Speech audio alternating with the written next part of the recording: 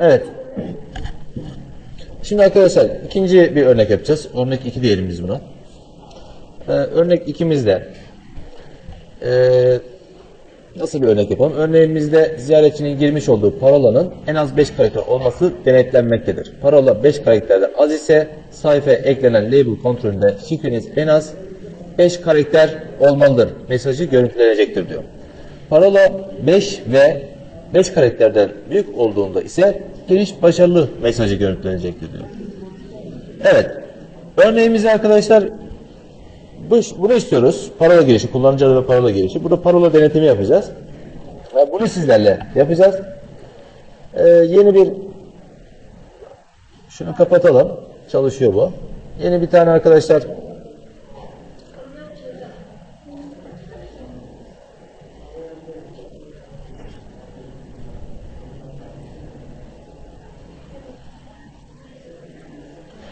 Yeni bir tane web formu oluşturalım. Örnek 2 olsun. Örnek 2. Bunu ekledim. Bunu ekledikten sonra eee, şöyle bir form oluşturacağız. Kullanıcı adı iki nokta üst üste bir tane text box ekleyeceğiz. İşte bir altta da parola iki nokta üst üste şöyle biraz taba basarak bir text box daha ekliyorum. Hemen altına da bir buton ekleyeceğim. Butonuma da kayıt ol dedim butonumun tekstine.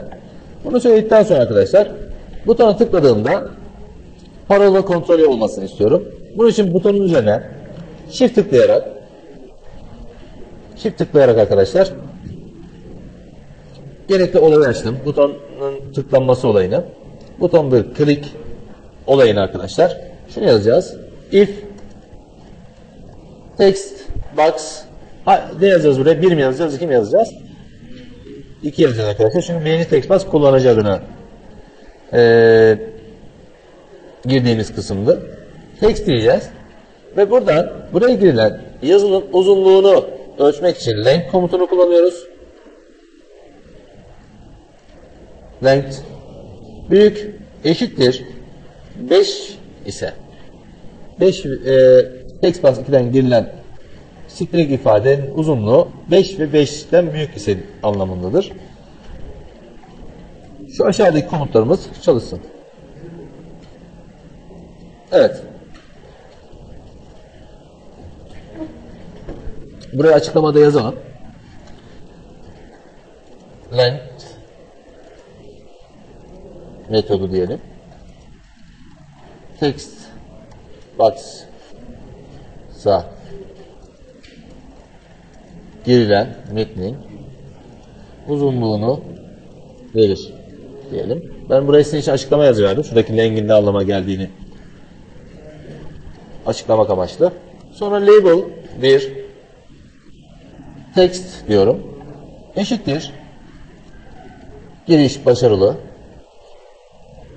Label 1'i formuna eklemediğim için altını kırmızıyla çizdi. Bunu sonradan ekleyebiliriz. Else diyelim. Else dedikten sonra buraya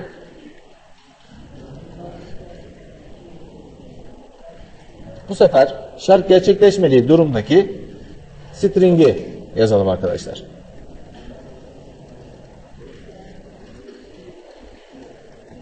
Evet.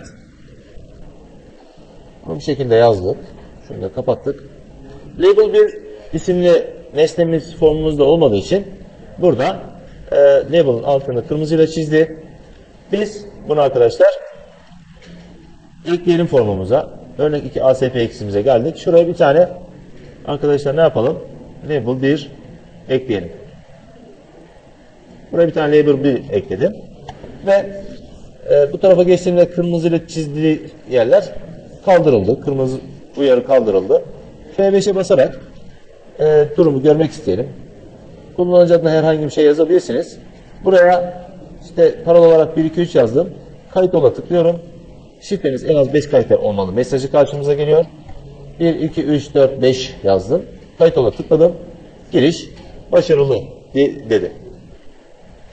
Basit şekilde arkadaşlar if ile parola kontrolünü size göstermiş olduk. If ile e, if şartını arkadaşlar ikinci örneğimizde biraz daha pekiştirmiş olduk.